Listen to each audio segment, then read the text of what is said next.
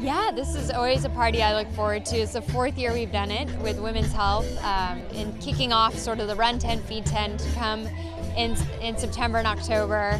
And it just should be a good time. We're due mid-November, so I, we're very excited. Do we know the gender? No, we don't know the gender.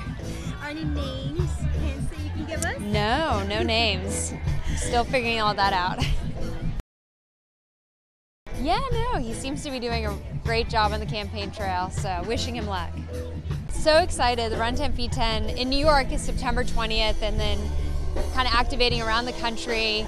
And to date, it's been pretty cool. We've raised over the last um, three years, now this will be our fourth, over 3 million meals for families here in America. So, you know, we've had a big impact, and it's just so, you know, personally inspiring and kind of amazing to see thousands of people running to support feed and support our mission. To your left.